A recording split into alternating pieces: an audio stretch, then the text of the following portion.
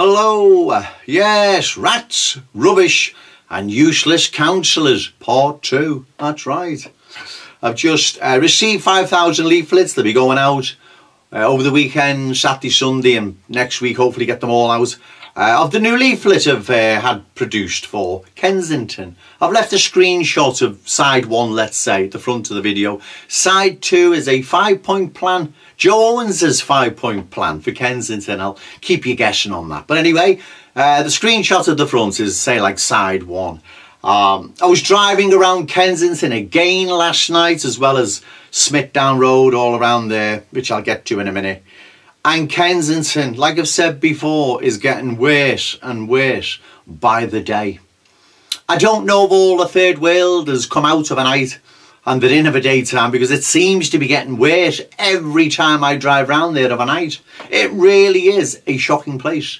And whoever is responsible, central government, Joe Anderson, Liverpool City Council, the three sitting Labour councillors for Kensington, who's ever responsible for wrecking Kensington, because that's what they've done, needs putting in jail. Because there is no one, no one that could say what's happened to Kensington has been a good thing. Joe Anderson, make a statement. Ricky Tomlinson, Derek Hatton. I'm not picking on you two because I quite like you two as well. I do believe you've got the interest of the working class at heart, but you remain in silence. Others who I don't like say Billy Hayes, another hypocrite, Alan Gibbons, another hypocrite, nice paid jobs and live in 100% white areas with the white partners, all hypocrites them.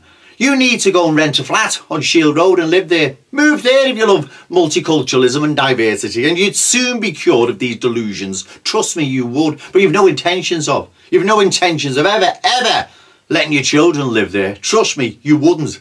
So who's ever responsible for wrecking Kensington should be put in jail. And like I've said, I want one of yous, all of yous, whatever, to make a statement saying what's happened to Kensington has been a good thing because it hasn't and you know it hasn't. Okay, thank you.